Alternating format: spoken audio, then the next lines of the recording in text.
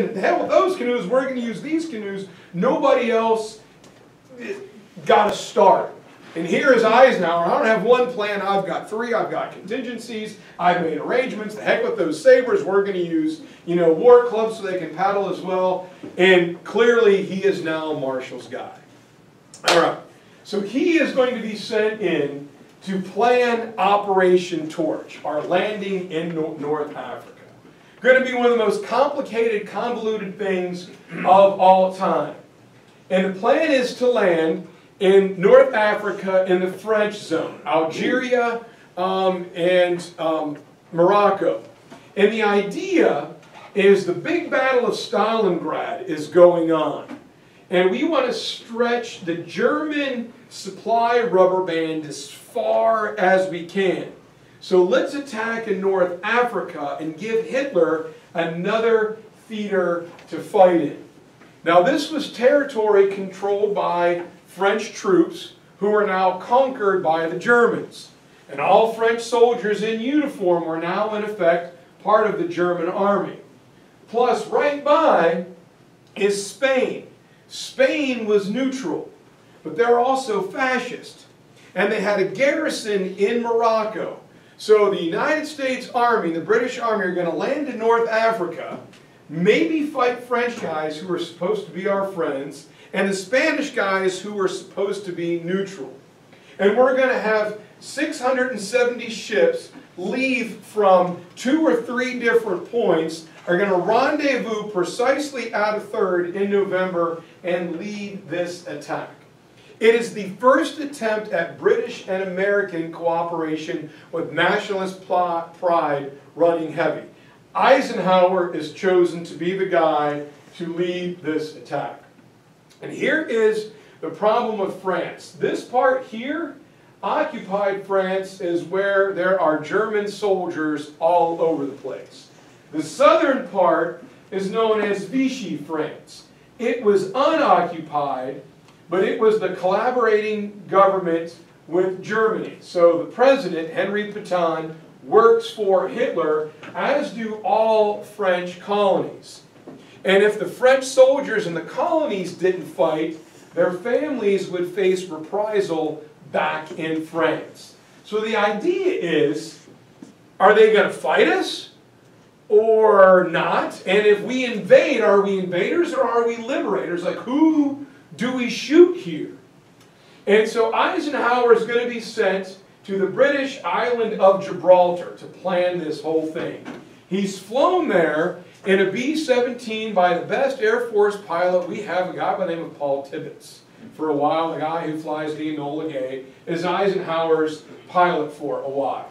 And here in the danky, stinky tunnels of Gibraltar is where Eisenhower is going to plan. It's damp, it's, it's, it's not well lit, and he gets a room that in the day he's got his desk and a chair, his assistant, Mark Clark, has a desk and a chair. And at night, they pull their desks out into the hallway and they lay in there in cots. And Mark Clark is so big at 6'5", they can't shut the door. This is the commander of the Allied troops going into North Africa sleeping in a, a broom closet. Here's, you know, the good old Eisenhower and Mark Clark, who is kind of a doofus. I got to tell you his story real fast. And they're going to be hopefully working with one of these two guys. This guy here is known as Francois Darlan. He is the French territorial governor in North Africa. We want to see if he's going to help us. The other guy we're banking on is this guy here, Henri Garand. And Garand was captured um, by Rommel's men, um, or the German troops coming out of the Ardennes forest. And he was taken to a POW camp in Germany, and he escapes. And he's in hiding, and he's like a French folk hero.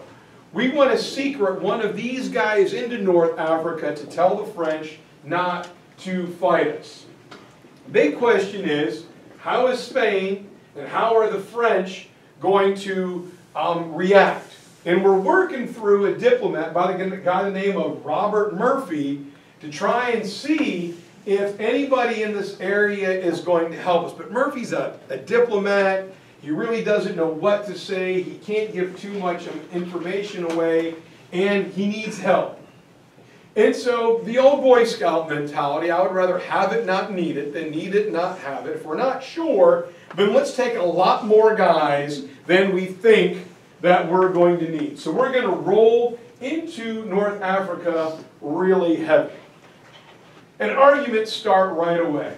Why in the heck are we attacking North Africa? There's nothing there but sand. What are we going to do? Make glass? Who gives a hoot about North Africa? And church is like, hmm, you got to go to North Oh, bull crap. We're Americans, all right? Look, all right? If we want to attack Germany, then let's go into France. You guys don't know what you're talking about. Yeah, Winston, that's what you said the last time. You guys rolled around over here for three or four years. We had to come in and we put the heavyweight belt on. All right, here we go. You know, you know, we ain't got time to run around in North Africa. All right, let's go right at him. And Churchill's like, look, that may be true, but think about this way you need, these Germans are not easy. Trust us, we know. All right, Dunkirk sucks. All right. You don't know which one of your commanders can handle the job, which one of your men can. You need a scrimmage. You need a warm up. You need to bloody your troops. You need to figure out your command structure. And to go into northern France, we don't have the men or the equipment. If we lose there, we're never going to get ashore. And this will stretch Hitler's um, supply chain. So just listen to me. I've been at this for a while. Thank God we had the brains to listen to Churchill at this point, because he turns out to be exactly correct. When this operation is given a 50-50 chance at success, Eisenhower says, well, shoot, I want the best guys we got. Royal Navy, I want Bertram Ramsay. The little Dunkirk guy, I want him. Helping with the Air Force, I want Jimmy Doolittle. He got back from his raid over there in Japan. I want Doolittle on this thing. Well, who are you going to need to command the ground troops? Well, you guys aren't going to like it. Why not? Well, because I don't really like this guy myself, and he's a friend of mine. So that should tell you. Well, who is it? Oh, God, you can't do it. Yeah, I'm going to do it. Leading our troops is going to have to be George Patton. Patton, he's a psychopath. No one likes that guy. Well, yeah, but in the event of war, there's none better. All right? In time of war, break glass and unleash George. And you Patton, all right, really. Um, I wish we had more time to tell you stories. Patton, a little bit eccentric. Um, ancestry is from Virginia. Um, you know, a little bit after the Civil War, his family moves to California. Patton grows up a, a rich kid. But he's out riding horses and shooting guns and doing all this stuff. And his mom, you know, homeschools him. And she reads him the Iliad and the Odyssey and the Aeneid. And he's like, yeah, Achilles and, you know, Julius Caesar. And he wants to go to West Point, but he can't get in. Well, due to family connections, he goes to the Virginia Military Institute studies up, and he eventually gets into um, West Point, um, where the guy said, you know, George, he was just full go. He's one of those guys that there was no, like, there was no, like, you know, 50%. He was all in. So he plays a lot of sports, but he gets hurt a lot. He breaks arm, breaks his leg. But he's like the best horseman they have. Um, he's a really good swimmer, and he's a ferocious fencer. And the problem is, George, you have, you know, um, you know, thrust, but you have no parry. Like you need to learn a defense. And he's like, well, why defend when you can attack? Well, sooner or later you got to defend yourself. He's like, no, I don't. If I'm attacking, then I'm going to, you know, score a point. Well, George, your your game's incomplete. Well, I don't lose a lot, so. Right. This is how, how we're going to do it. So he winds up. Um, representing the country in the 1912 um, Olympics, where it looks like he is going to medal. Um, the last two events are his best. One is pistol shooting, and he can shoot with either hand, and he got to fire 36 rounds. Well, through five and, you know, three-quarter rounds, Pat hits the bullseye every time. He has two shots left. There's no way he's going to lose this thing and he fires two shots in rapid succession from a 38. Sixth shot, the range boss says, missed target. I was like, what the hell do you mean, missed the target? I didn't miss the target. I didn't even move my hand. I fired once and I fired again. Well, there's no bullet hole for the second bullet. He's like, that's because I Robin Hooded it. They're like, what? He goes, I bet my sixth shot is on top of my fifth shot. They said, there's no way that's possible. So he gets marked down for a miss. He's mad, but he's still probably going to medal. Later, they do go back and they pull the bullets out, and I'll be gosh darn if he didn't put the sixth one right on top the fifth one. So they're going into the steeplechase. Patton's going to win this easy, but in these days, you didn't get to ride your own mount. You had to like draw straws. Patton is the last to go. If he just finishes before the time's up, he's going to win a gold medal. Well, somewhere on the course, guys, he was one of the last to go, his horse slipped and rolled over like a hedge and a barricade. And when it rolled, it breaks Patton's um, clavicle. And everybody's waiting and waiting and waiting. And I can tell you from personal experience, breaking your clavicle hurts really bad. If you take a look at me, you'll notice my right shoulder is about an inch below my left shoulder. All right, there's no mistaking when you're like, oh, that's not good. Somehow Patton takes his belt off, makes a sling, gets on the horse, and finishes the course. I cannot tell you how painful that is he finished the, finishes the course and passes out, but he doesn't know. He's sent to Texas. Oh my God, it's 820. Flapjacks camera. Um, he goes. He, go, he goes to Texas where he meets up with John Pershing. He goes into Mexico to chase Pon Pancho Villa, and with a gun he bought himself for a graduation present, a 44 caliber, like Wild West, you know, um, Colt, like a John Wayne gun. Um, he kills three of Pancho Villa's henchmen, ties them to his car like deer, and drives them back. They go, George, you were supposed to capture him and interrogate him. Well, General, they were shooting at me. So what'd you do? Shot back. Did you have to kill him? And he's like, well, didn't really think about it, but I figured if I killed him, then they couldn't shoot at me. So anyway, all right, that's Patton. All right, and Patton, if you asked him, would freak people out. He said that he, his spirit was resurrected throughout time. When true evil existed on the earth, God would send him back to stop it. So you would say, well, God, George, you know, what do you think it was like when Napoleon retreated from Russia? Well, I'll tell you what it was like. Well, George, you act like you were there. Well, I was. yeah, okay. Man, what, what must it have been like in, in, in Zama when the Romans killed the Carthaginians? Well, let me tell you. All right? All right? And, and he really believed he, would, he was there. So he's going to lead our forces in. So we're going to bring everybody that we can to make this happen. Oh boy. You got it. All right, okay, we're, we're going to go. All right. So, quarter of a million soldiers can, can be um, waiting for us there. And we're trying to sneak somebody in. And the goes, I am the leader of Free France. Well, dude, you're the only officer that beat up his own men to get off. Can you help us? No, no, I cannot. Um, you know, we must liberate France. Not, okay, okay, Charles, like, you know, whatever.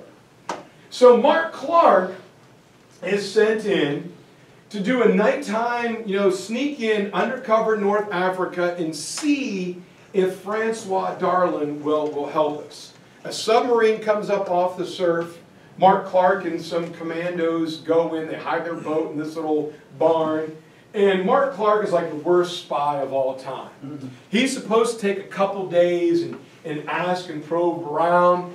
And the first night he goes into the French soldiers. Je suis American. Will you help us? And they're like, what? Yeah, je suis American. Liber American. They're coming. They're invading. So Clark runs in a running gun battle back to the beach. Some of his men get killed. Some get wounded. They're rowing their, their boat out to the submarine and shots are being fired. And the family who, whose barn he hid his boat in, they get killed and they didn't even know he was there. So now the Germans know we are, are coming and we need help. So Eisenhower calls on Henri Garand to come and help him.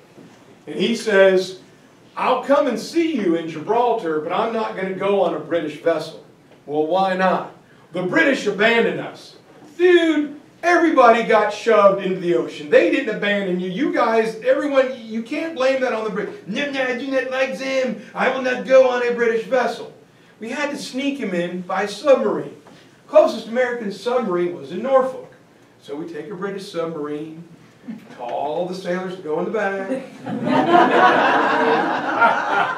hang some American flags, bring an American captain, American XO, American navigator, and we put Garand on board. We're cruising to um, uh, Gibraltar.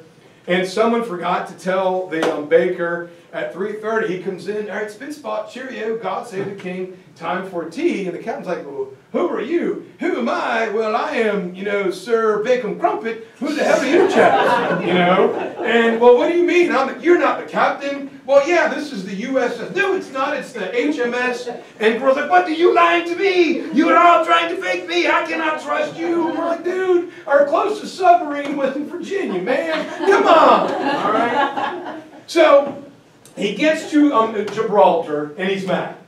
And he's like, no, no, no, this is wrong. And Eisenhower's like, look, can you go in and tell the French troops not to fight? If there's going to be invasion, I believe the army. What army? I believe the army to liberate France. Well, look, Haas, all right, your army is in a POW camp.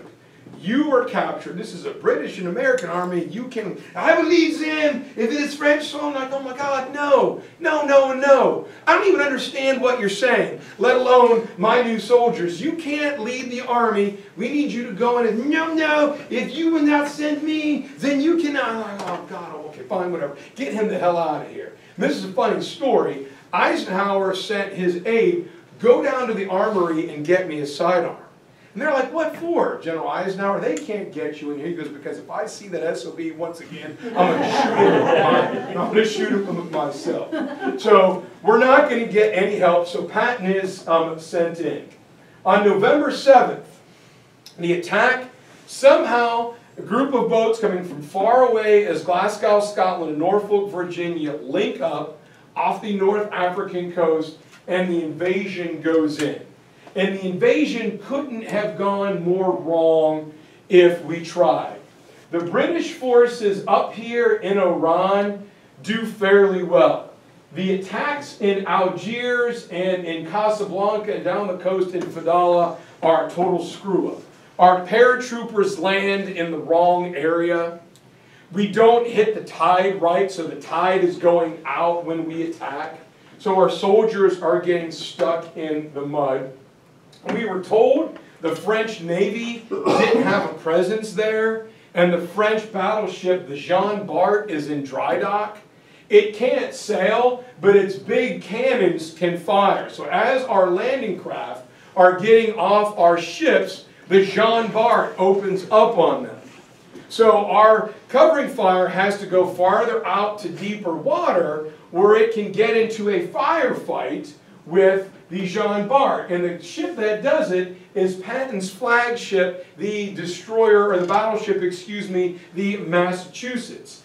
And our guys get to the beaches and they don't know what to do and they're freaking out and the French are fighting and there's artillery going on everywhere. And up on the far end is this old medieval castle that had been improved upon literally since, you know, the heyday of, you know, Carthage, known as the Casbah. And French machine gunners are up in it, and Patton is watching this entire god-awful thing. And he's like, get, who's leading these troops? What is um, going on? And Patton screws up earlier. I'm running out of time. But Patton wanted to get going. So when the Navy was loading the ship, he was going, what are you doing? Get that thing on board. Well, sir, we got to lay it all out here in the naval yard, and then we have a specific way we pack it. Son, don't talk to me. I'm the general. Get that crap on board this ship right now.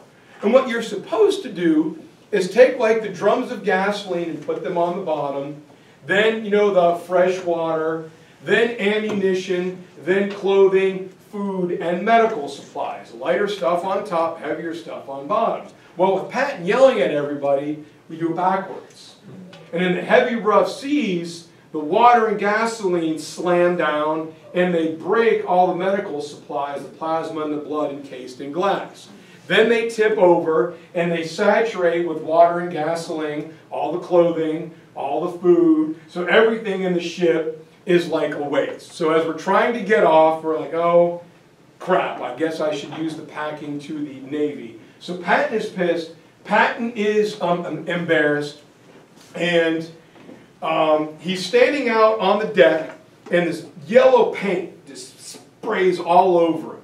And what you would do in the Navy is you would fire a, like a tracer round, a big shell of dye. And when it exploded, your rangefinder could see exactly how far away the target was. So Patton is covered from head to toe in this mustard yellow paint. And he's like, God bless it. And His aide is like, sir, do you want to change? No, get me a landing craft. I'm going down there. Well, sir, you can't go down there. By God, I can do whatever I want. Get me a landing craft. And Patton goes in, and he's one of those guys. Don't know how it happens there in every battle. He jumps out and he's firing his six shooter and he pulls us and he's not really shooting anything. Get out of the sand, son. Get going. Get moving. Well, General, they're shooting at us. Well, by God, son, if they were any good, they would have hit me. And he walks back and forth along the beach, screaming and yelling. You know, there's you know explosions and the noise of combat. You know, the explosions, the screaming, the sheer terror. And when guys see Patton, they start moving forward. And little by little by little, they begin to um, engage. The fighting is fierce all the way up until November 10th. Patton was a, a, a, Francophile, all right? He loved France. He had spent time there before and after World War um, I, knows a lot of guys, speaks the language fluently, and on November 10th, the Free French forces stand down. They radio Germany, oh man, we fought with honor, we did the best we could, but these Americans and British soldiers came out of, of everywhere. Wasn't true. The French badly outnumbered us, but they could say we fought for our honor, and there could be no reprisals back on their families back in, in, in France. We've made it, all right? Barely. Everything that could possibly go wrong went wrong.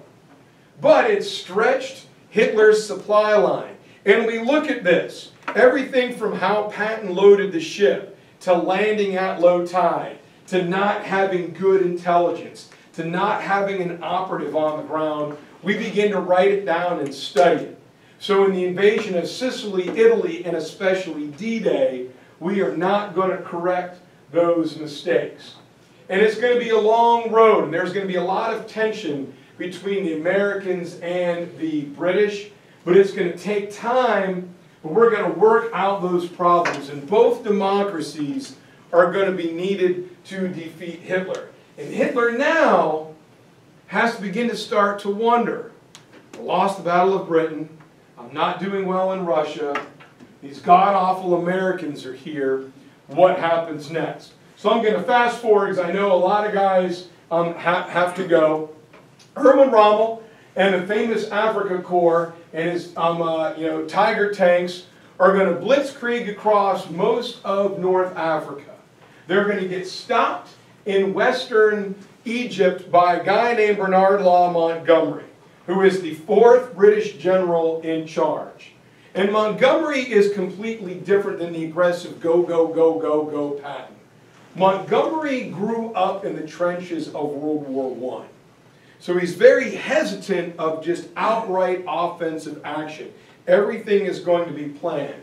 And at El Alamein, he uses Rommel's tactics against him. And he defeats him. He stops Rommel and begins to roll him back. Here's little Bernard Law Montgomery, and here's Rommel. Begins to slowly push him back across North Africa. Now, Rommel's troops were tired. They were, their vehicles were breaking down from fighting. It looks like, if you've seen um, Empire Strikes Back, it looks like the battle of like Hoth out here. Right? They're literally, all right, fighting in, in, in the desert, in the sand, in the grit is wearing on the men. Rommel is badly sick. And you know what? it happens to everybody. And go, well, you know, well, well, if our army had to been broken down, well, you know what? It was, all right? And that's not, um, you know, the um, Allies' problem. Rommel and the Afrika Korps had done great things, but now, some shortage of supplies, men, and gasoline, they get beaten again and again and again.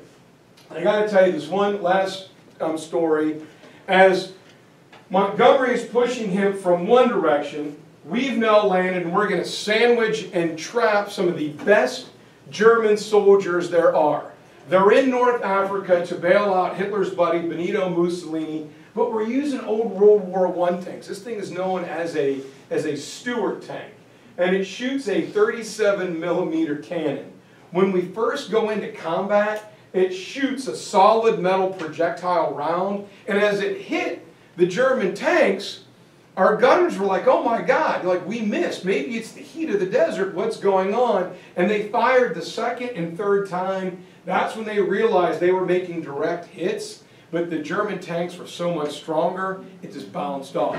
No. All right, and the guys in the Stuarts get massacred. And here is my last story of This guy's name is Lloyd Fredendall. Fredendall is literally Dwight Eisenhower's best friend in the world. And he gets defeated at a place known as the Kasserine Pass.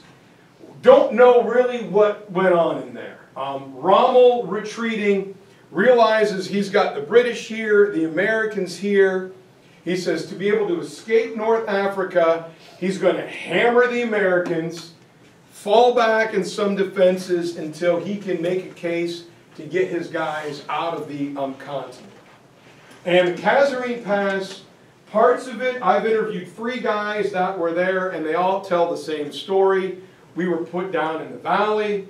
The Germans came from the top. They came around from the back, and it was just, they were everywhere. We were boxed in. The fighting went on into the night, and it was every man for himself. We fought, we punched, we kicked, we stabbed, and we kept heading west until we got out of there. Said, I don't know if I fought friend or foe. You couldn't tell at night. It was this sheer chaos. Parts of it are still under presidential sealed orders not to be opened until 2042. So when that happens, you know it's really, it's really bad. All right, we, you know, everyone involved is going to be gone before we find out what happens. Well, Eisenhower comes out. That's when he's like, I'm not a battlefield commander. And he goes to the front and he sees these Stuart tanks blown to hell and thousands of dead American soldiers. He's like, where's General Fredendall? Well, who? General Fredendall. Well, I don't know. I don't even know what he looks like. Well, where's our anti-tank guns and where's our anti-tank mines and our barbed wire and our bazookas? Where are they? I don't know. And he rolls around and um, finally 60 miles from the front lines Eisenhower finds Fredendall, and he goes up this twisting, windy road, and it's got barbed wire everywhere, and concrete blocks, and anti-tank mines. He's up this serpentine switchback trail, and engineers are tunneling into a mountain, and he's like, excuse me, like, oh my God, General, what are you doing here? Well, I'm looking for General Fredendall. Well, he's just about ready to have lunch. Well, guys, why isn't all this stuff at the front where our men need it? Well, I don't know. General Fredendall told me to build it here. And Fredendall comes out and says, Ike, hey, or we got a rack of lamb on, you want to come in and have lunch? And Eisenhower's like, Lloyd, with me right now. Well, man, Ike, calm down. 8,000 Americans might be dead, wounded, or missing. What do you mean? Come on, you know, don't worry about it. We'll get them next time. Worry about it. Look at this place, Lloyd. It's a fortress. All this is for the American men. The president wants my head. I need to explain it. What are you doing here? Well, I'm just making my headquarters safe. Lloyd, you're 60 miles from the front, moron. So I'm sorry to do this to you, but you're fired. You can't fire me. Ike, we're friends. Well, I can, and I am. All right, now I'm not going to fire you from the Army, but I'm going to send you back. I'll let you collect your pension, and you are going to train men for combat because you can now say you've got combat experience. But this is unacceptable. Well, who's going to replace me? Well, I've had a guy causing a bunch of trouble in Casablanca running his mouth, and his name is Pat. And so Patton is brought in. He is going to reinvigorate the Seventh Army. Um, here is the last remnants going down into um, um, Pass. Here's our man George. Um, Patton will um, defeat the 10th Panzer Corps at El Guettar after Rommel was removed to go back to convalesce in, in Germany. The only problem is, and what Patton's big um, uh, uh, beef with Montgomery is, he says, we need to trap these guys here. All right? Word coming from this direction, Montgomery, quit inchworming your way along and let's cut them off. Because if we don't, we're going to have to fight them again. Unfortunately, um, the Afrika Korps makes it to Sicily, where part of them escape again, and they make it to Italy. By that time, our man George, who does great things, gets himself benched for slapping the helmet off of a soldier with shell shock. So for about a year, he is out of the game, and um, the invasion of Italy goes off without him. So that was really short, really quick. I cannot believe. I hope it makes sense. Oh my God, we did so much.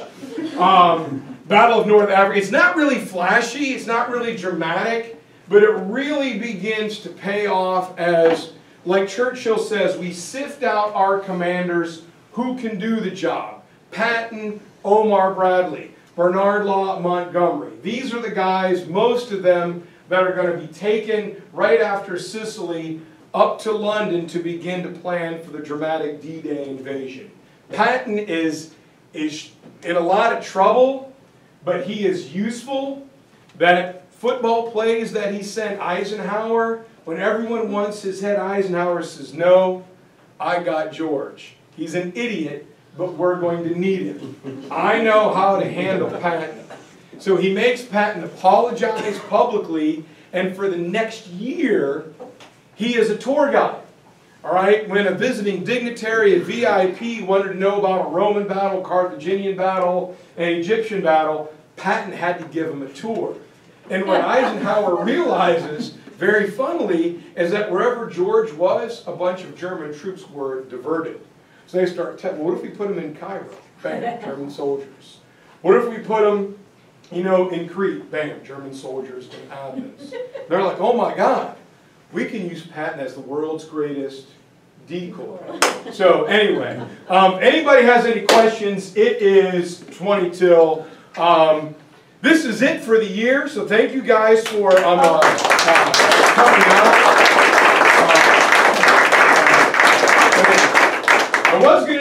Invasion of Sicily, but we did a little bit of the, the of the um, Battle of France first. So guys, thank you for coming out uh, for um, see the high school. Hope to see you at D-Day. It's all about D-Day. It won't be four or five um, different things. It's how I got my start, the whole story. Um, my grandfather flew B-24s, and I remember watching The Longest Day, July 4th, 1976. And I'm like, wow, Grandpa, you know, you were brave flying a plane. He's like, oh, that was nothing compared to these guys. And I remember my mom didn't want me to watch it because it was too, you see how benign the longest day is? Like, you know, um, boom, boom, boom, boom. And so that point is where I got my World War II hook, and D-Day has been my thing um, ever since. So um, have a great evening, everybody. Enjoy a nice um, warm night. I'm going to the Carolina Brewery to get dinner and a Coke if anybody wants to join me there. and uh, a Coke. Coke, you know. None of that diet stuff, but like a real, um, a real Coke. So if you have any questions, I'll stick around. If not, have a good night. And uh, if I don't see you in May, we'll see you next year. So anyway, all right. Have a good night, everybody.